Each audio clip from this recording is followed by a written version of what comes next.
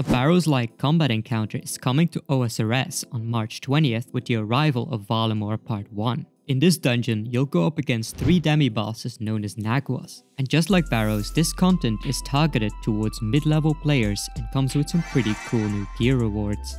You'll start each encounter in a central room with only one path opening up. So every encounter is going to look slightly different. The rooms that follow are going to allow you to farm resources and prepare for the demi-bosses, similar to the prep rooms in the Gauntlet. Once you're ready, you can face the Naguas in an order of your choice. Each boss room will come with new mechanics for you to learn. You'll be able to solo the dungeon or take it in a team. When in team, everyone is going to have an individual health bar for the bosses, so it doesn't matter how much damage your teammates output, your loot potential is entirely dependent on your own output. Let's talk about a unique mechanic that each of the Nag will share. Their basic attacks will hit you 3 times, with each hit coming in harder than the last. But if the first hit is a 0, so will the second and third. Furthermore, each boss will also lower your DPS when you take damage, meaning defense is key inside the dungeon. If you're wearing a fighter torso, you're going to have a bad time. Swap it for a Torag's platebody and you'll be golden. Oh and I suppose Justiciar will be best in slot, but we'll see what happens on March 20th.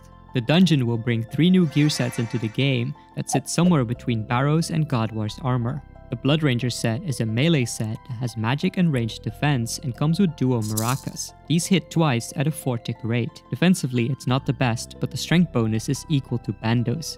The full set gives you a 33% chance of the second attack hitting one tick sooner. The special attack allows you to sacrifice 10% of your HP to raise your hit by 25%. Frostmoon is a hybrid magic melee set that has similar magic attack and defense to Ahrim. Its staff, which also functions as a decent melee weapon, has a 5% magic strength. The full set gives you a 10% chance of your next melee attack with the spear going unaffected by action delay. The staff's special attack increases your max hit with 1% for every tick remaining on a binding spell such as Ice Barrage. And finally, the Eclipse set is a hybrid melee range set that comes with an Atlatl that rolls damage off your melee strength. It has similar ranged attack to Karil's, but much better defense against all combat styles. The set effect gives you a 20% chance to inflict burn. This burn effect causes your target to suffer 1 damage every 4 ticks for a total of 40 ticks, and the effect can be stacked up to 5 times. The special attack consumes the remaining burn damage and adds it to your max hit. And that's all you need to know to prepare for March 20th.